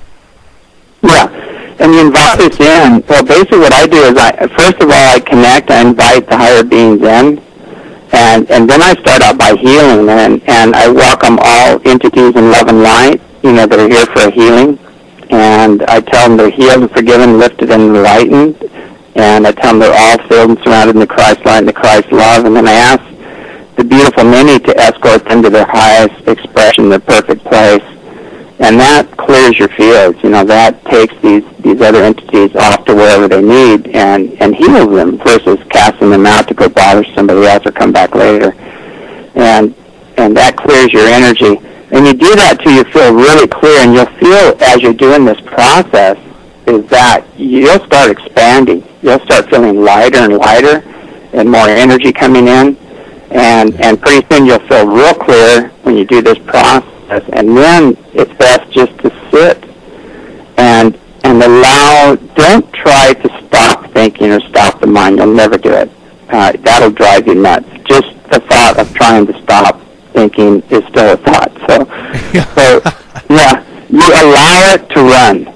You you allow it to run, and you just keep focusing on that love and joy and bliss. You allow the mind to run, and it'll start. It'll run. It'll run out of gas, and then it'll move to the next level, and then it'll run out of gas and move to the next level. And you can just focus on the breath during this process, or just focus on a big golden ball of bliss or a candle or whatever, and just maintain that focus and let let the mind just run. Let it run till it's done. And and then eventually the mind just quiets down and settles in, and you're in this space where you're just uh, in this just pure love and joy and blissful state. And uh, uh, and that's basically the process. You know, it's a very simple process, but there are a lot of lot of techniques out there that people have invented. I would choose the most simple. Right. Yeah. And the goal is spacious, light, and clean. Yeah, yeah, exactly. It's it's uh, you know, and and and also too, you know, if you're having challenges and problems, you know, bring spirit into it. You know, rather than battle it on the ego level, walk away and go sit under a tree or something and just say, "Hey, help me out with this." You know, I I need some advice here, and and do that clearing process I talked about, and all of a sudden the answer will come, and and sometimes the problem just goes away by itself. Okay. But thank you, James. Um, uh, anyone listening, everyone listening, just go and go and do it. Um, because again, we're not gonna we're not going to solve our problems at the same level we've created them. Um, I want to ask you about a creature. Now, this is sort of funny. A couple of days ago, myself and a friend were talking about um, the possibility of the uh, genetic uh, intervention of man through different various off-world species, and uh, my friend said, "Well, if they were so damn smart, why did they why did they mix the, the, the hominids with, with monkeys? I mean, would they not have been better mixing us with cats? At least the ki- the cats would have kept the, the planet clean." And I laughed, and then I was doing the research for you, and then I seen Bagit, and I was like, "Oh, there you go." Um, uh, that would have been a little better. Can you tell me a little background on, on Bagit and, and your relationship? Has Yeah. been true? I mean, instead of sitting monkeys throwing their own uh, whatever at the wall, uh, Yeah. as we as we do, as we do. Uh-huh. Yeah, there are, uh, you know, in all the ancient traditions, uh, in India they call them Narshringa, and they were the feline beings, uh, and they were benevolent protectors of man. Uh, a lot of the villages would pray to them, and if bandits were coming to the village, they would start praying and bringing in Narshringa, and and you'd see the bandits getting knocked off their horses by an invisible force, and their clothing being torn and everything, and they'd run off, you know, and that would be the end of it. Uh, but uh, that is one story, you know, that's been around for a long time. Now, there's another story uh, too in in ancient Egypt. They called them Sekhmet, or I think it's uh, Bast, or there's another one. But they're they're feline, humanoid felines. One one has the head of a lion and the body of a man or woman, and the other one has the head of a more of a cat. And and so so these beings have been around forever. I mean, they and you know they're not to be demonized. They're extremely loving beings, but they're they're also very protective. Uh, you know, and and you know of those who have aligned themselves with them. So so we've actually had these beings appear here. I've been in contact with one, and they're from Sirius, the Sirius system, and I've had contact with one that the first contact I had with her was I was going out of body. I was meditating, and I ended up on a ship with all of these people on the ship. And what I realized on this ship is not everybody was uh, humanoid as as we know it. They were humanoid, but they weren't. You know, they didn't look like your neighbor, you might say. and uh, some were blue. You know, had blue skin. Uh, some were wearing, you know, robes that that, but they very tall beings. You know, with a, a blue tint to them that you know, in the ancient days, we used to call, you know, some of the masters, Shiva and the other masters had blue bodies or blue skin. And so it all ties in together. But, but what I did is I end up on this ship and I look at this beautiful blonde with her back to me. And I go, whoa, who's that? you know, it's like, you know, yeah, I was just looking at this beautiful silhouette, you know, and, and, uh, and she jumps up and spins around and here I see this feline uh, face, you know, and she runs up and gives me this big hug, like a long lost brother or something, and and it was it was amazing. I mean, I was just so filled with with love, and and she was just so happy to see me again, and and I didn't understand what that was about at first, and then I realized in my soul I've actually been there and, and experienced that that world, and have been one of them in the past. So we've been all over the universe in our soul. We just don't remember because we're focused on again the body and the personality here. But uh, uh, we have family in the universe, and some of it doesn't look like us. I mean, it looks very different than we do. But that was my first experience, and I've kept uh, a connection with her, like a telepathic contact and connection with her uh, for quite some time, for quite a few years. And you know, I was blown away to see the uh, movie Avatar come out, and and when I saw Avatar come out, I just said, "Oh my God!" Like, like, uh, you know, this, this is something that's going to change humanity. You know, there's some major divine intervention behind this one because, I mean, we had Bagheet's picture up there for years and years and years before you know that movie came out. But uh, um, you know, not not that I want anything for it. You know, I was trying to get is it James Yeah. Cameron? I think I was trying to get him on the show on on one of my radio shows to, to interview him to say, hey, you know, where where did you get that that vision or that inspiration? But you know, it's been declined several times.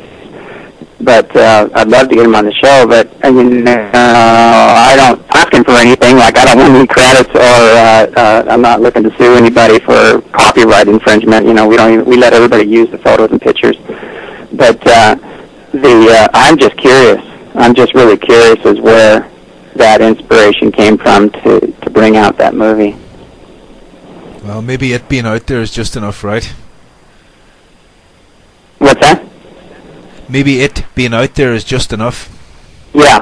Well, you know, I I think well, I I ran into some scientists that are actually working on some fuelless energy technologies and things of that nature, and they are having experiences with these beings and cooperating with them. But unfortunately, they can't get their technologies out right now because of the powers that be out there. You know, the major oil companies and all these other companies are in conflict with that. You know, and they don't want people to have their own little, uh, you know, fuelless energy generator that would provide all their needs and drive their cars and everything. They, that's the last thing they want to see. Okay, and you mentioned your radio shows um, for everyone listening, if they want to tune in and hear James Gilliland, um, where can they listen to you? Well, the two shows are uh, it's As You Wish on BBS Radio. If they just go to bbsradio.com, uh, they can hear the, the As You Wish radio show, and it's 8 o'clock p.m. Pacific Standard Time over here in the U.S. And the other show is World Puja Network, and uh, the show is called Contact Has Begun, and it usually airs on Tuesdays, and then when it first airs, it's available, you know, to anybody for free. Both these shows, but once they go in the archives, you'll have to join, you know, the network, and it's pretty reasonable. But what's nice is when you do join the network, you can listen to all the other past shows of myself and all the other guests as well, and and uh, I've had some just incredible. I just interviewed J.J. Hurtak and and uh, you know some pretty powerful guests come on on a regular basis, so it's definitely worth it. Okay, so BBS Radio, uh, as you wish, Talk Radio, and World Puja to hear James. Um, ourselves, after we take a break, we're going to have Dannion Brinkley on on the first show, uh, talking about near-death experiences. Have you Mhm. uh, met Dannion? Yes, I have. Okay, okay, just just um, a uh, self self uh, publication there on behalf of the Mhm. Irish Side of the Moon. James, wh- where do you see, or what do you see happening um, in the next coming days, weeks, and months here on planet Earth? Because things seem to have. We're not waiting for stuff to happen anymore. We're slap dab in the middle of it. So, um, what what do you see happening? Well, basically, Mes- what messages have you been given by the, the higher intelligences? Well, what they've been saying, and they used to give me specific information, and I, I haven't even asked for the specifics anymore because it's just created so much havoc in my own life that, you know, I do share it with people close to me or, or people I know that might be affected by it. Uh, but but uh, basically what they've been saying, they, they talk about this process, and they said, you know, that the, the, greatest understanding of it is almost like the source itself is is infiltrating the entire planet in every form on the planet uh, on the highest level. But what they're saying is that we are moving to a new place in space. Our whole solar system is highly energized. Uh, that's why we're seeing all the changes on all the planets, not just Earth. Like glo- global warming is more like solar system warming. Uh, warming, I mean it's it's happening. The whole solar system is going off. It's not just the cars that are doing it. They aggravate it a little bit, but it's mainly a much bigger event. But moving into this place, we're actually moving into this huge bubble of energy that is in alignment with galactic core, or you know, the Mayans call it Hunab Ku. Uh, everybody has a name for it, but it's, it's the the beginning of this galaxy, you might say and and that event that's happening right now, and with the planetary alignments coming up, and also an incoming body, you know that that I think they're naming um, Elenin, which is actually probably Nibiru, uh, coming in. All of these things are playing, you know, all at once on the Earth. So so there's all these things coming up to up to. Uh, and through 2012. And what they're telling me is that this September, there's going to be a lot of, of shaking and rocking and rolling, and the Earth is just going to be really doing her thing. And and nature is going to take down the you know the present system between the the solar flares and the coronal mass ejections and you know the shaking and the pulses coming in. We're we're getting hit by 500 uh, huge pulses of energy an hour from from sources unknown. We don't even know where this is coming from in the Earth. But you add all this together, and there's no way the grid is going to stay together. It won't stay up, and there's no way the satellites are going to continue doing what they're doing up there as well. And uh, you know, it's it's it's an obvious.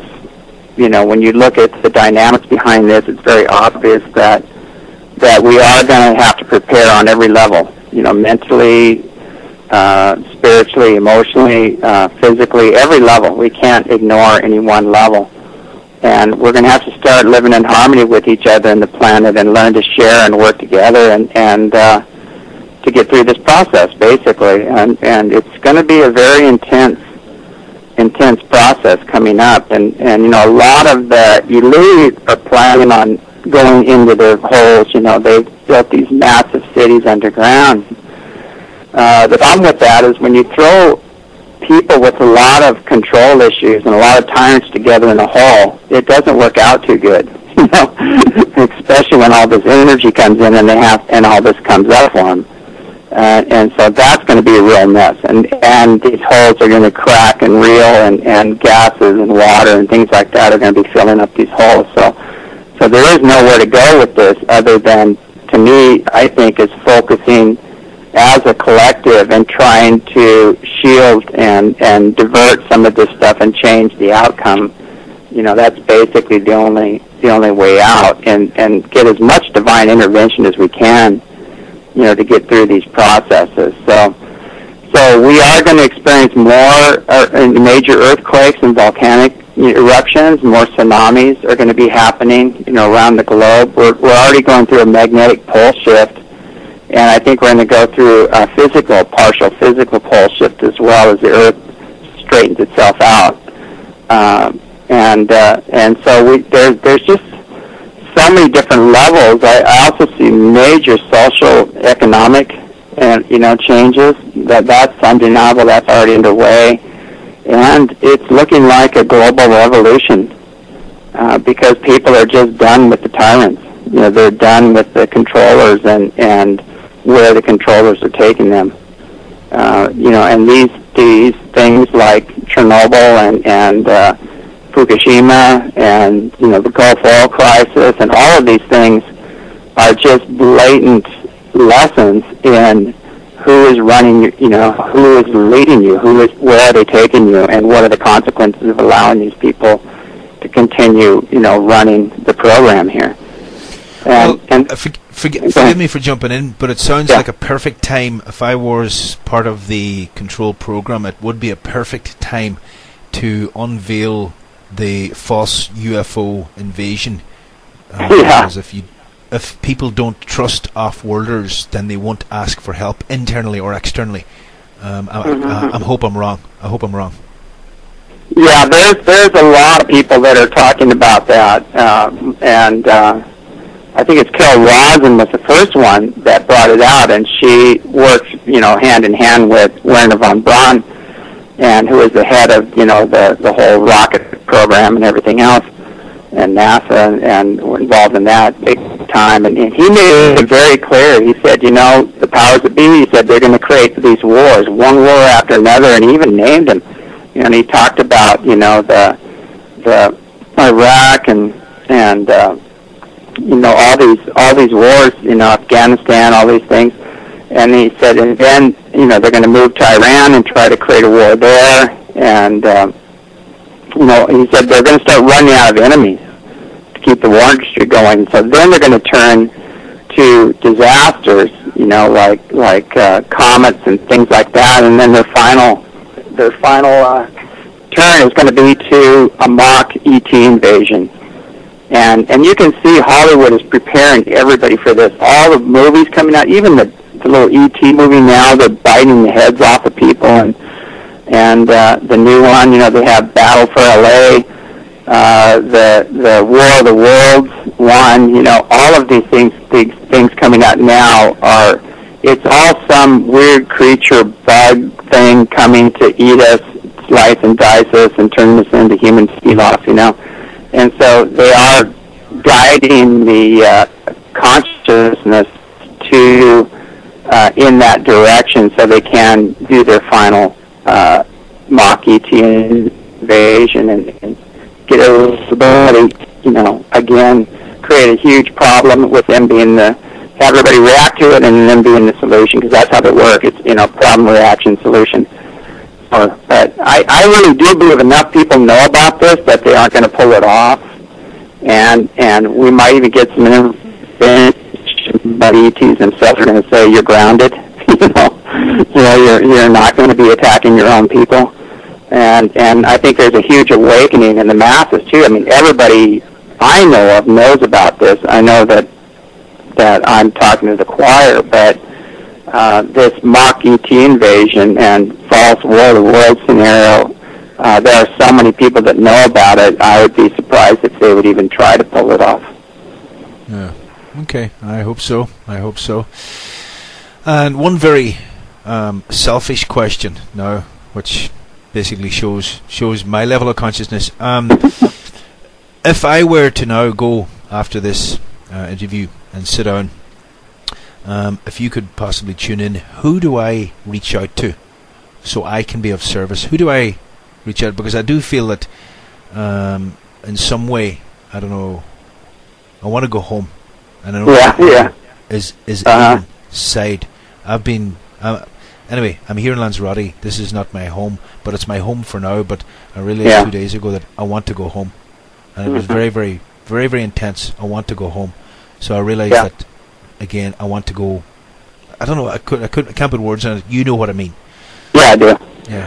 Yeah, So- basically, home, home is coming here. Uh, we, you know, it's our job here to create heaven on earth, and we're bringing that consciousness of those off-world experiences and lives and things here to the earth to assist Earth in, in her process. And it's not, it's right around the corner where, you know, we're seeing all the ships manifesting and around the world globally.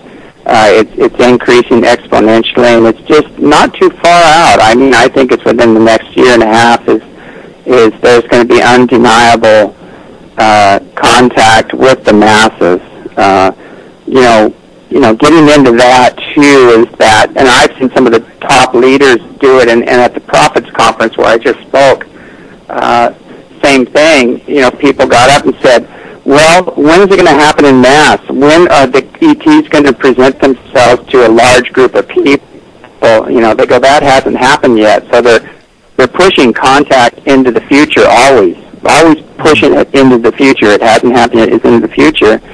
You know, whereas just here we have 300 people at a time initiating contact and ships flying right over the buildings here, and, and for everybody to film and that's been going on for years. So, so that's kind of an issue. But going back to your your personal uh, experience, uh, rather than do it over the air, what I can do is uh, we have techniques of divination where I can find out exactly who you're working with and the names of them, and you know who's best to work with, and I can uh, do that, send that to you in an email. Um, Okay. you know, but uh, that that would be the best way. The only reason I'm not doing it now is because if I just pull it now, I may be off a little bit. Yeah. And and to ensure that I give you really clear information, I'd rather use these other techniques we use that that we get very concise, clear information. Okay. You know, okay, I but- appreciate but I- that. Yeah, but I think everybody, you know, you- you'd be surprised if people would just sit, uh, get yourself away from, get in a space where you're not going to be interrupted, you know, a clear space, and do the clearing work first, and then ask. You'll be surprised at what happens. You'll either feel a presence come to you and just be aware of what that feels like. So when it comes to you again, and um, you know, or you may get a name or an image. You know, you might it depends on on your gifts. You know, some people are clairaudient and they'll hear things. Some people are clairvoyant and they'll see a being appearing to them. Uh, some people are clairsentient and they'll feel the presence of, of energies. And so it depends on the individ- individual as to what you experience. Yeah, absolutely. Okay, um, that's coming near the end of the uh, the show, uh, folks. Okay. Um, again, James, um, I'm sure the guys, myself, anyway, um, uh, next season or the season after, would love to have you back because I know that you're a very, very busy man with your own shows and all the work you're Mhm. doing, um, grounding. And as you said, it's not in the future. You're doing it now, and you're helping other people doing it. And Other people are helping you, and everybody's helping everybody else. And uh, I'm sure you're creating quite an impact where you live, and people are seeing that, and they can't really deny it. Even people who are still trapped in mind. Um, Mhm. Any last words that you would like to share with people? You know, basically, um, I'm really praying for a peaceful revolution, but we need one. you know, we need one fast, and and we have to really wake up and pay attention to what's happening, you know, over our heads, to our environment, and who's leading us and where they're leading us. Uh, you know, we have to stop, you know, participating in any way with anything that's harmful to humanity, earth, and and really start gathering together and live lives in harmony with each other and the earth, and and become self-analyzing. You know, build your own observer and go there and observe yourself when you're flipping out or blaming or, or going through a process and realize that it's a process and, and ask, you know, the God within you to help you with this process. Uh, that's the main thing right now. I, I asked the Pleiadians, you know, why are you here right now? And they told me to release the past. And then I asked them, can you go more in depth in that? And they said that your past is creating your tomorrow. And some of your cultures are holding on to these extreme grudges and, and wrong conclusions from past experiences, and it's actually psychometrized into the land itself, you know, through wars and, and, and other things. So they said it's so important right now that we drop, you know, the old grudges, the wounds, the traumas, and wrong conclusions from past experiences and start uniting, you know, as a whole and working in the highest and best good of humanity and the earth. Okay, well, that sounds like um, sound words for anyone. Uh, I can see it in, right across the board. Um, Yeah. Everybody needs to, to do it. And if you want to reach out to see some of James's um, fabulous photographs and um, written material, just go to www.eceti.org. Um, some fantastic stuff on there. Um, And also to get along- join us uh, in the healing meditations too. And there's a free newsletter where we can let people know when we're doing these meditations. Okay, and they can access that on the site Yeah. eceti.org. Yeah, on the Okay. website. Or, or they can go to Ustream and just type in ECETI. And, and it's Ustream and just type in ECETI and it should pop up and at 7 o'clock p.m., you know, Pacific Standard Time, we're going to, to do a meditation. Ustream. Yeah, Ustream. Is that Y O U S T R E A M? Ustream. Yeah, no, it's just U. It's just the, let, the letter U and then stream. Ah, okay. Ustream. Gotcha. Well, James, uh, it's been a pleasure. Uh, keep doing what you're doing. Uh, and if you ever want to come back on the show, just give us a shout. Great. Yeah, anytime. I, I love doing other radio shows more than my own. And if you see a strange looking Irish guy coming with a real Lanzarote tan around the mid to end of May this year, uh, it might be me. Great. Yeah, anytime. I I always tell people come see for yourself. I mean, they're they're here and people have life changing experiences. Right. Okay, and, and would May, of May be a good time to go, yeah? Yeah, watch the weather. You know, if it's raining and cloudy, it's pretty hard to see anything. But you'll definitely feel the energy here, even though you don't may not be able to see much. Yeah. Okay, well, have a great uh, healing meditation tonight, and take All care right. of yourself. Uh, All right, thank thanks you for having me on much. show. Not at all. My pleasure. All right, take care, James. All right. Well, that was and is the crux of the matter. Um, if you, like me, have a lot of work to do on yourself, well, now's the time to start. Drop the anger, drop the jealousy, drop the resentments, drop all that stuff. Stop blaming. Yes, we can hold people responsible for their actions as we hold ourselves responsible for our own thoughts and behaviors. Now, coming up next week, uh, actually, not next week, we're taking a break for a couple of weeks. And the first interview of the new season uh, will be with Dannion Brinkley on near death experiences. And that interview will be with our own Tommy. So, folks, until again, thank you for joining us here. Uh, stay safe, stay curious, and keep up the good work. Take care, guys. We are Irish Side of the Moon. Freedom of information, personal empowerment. The Irish Side of the Moon. I still have a dream. dream, dream, dream. This is just a ride. We can change it anytime we want. Only a choice. No effort, no work, no job, no savings of money. A choice right now between fear and love. Love, love, love, love. freedom of information, personal empowerment, the Irish side of the moon.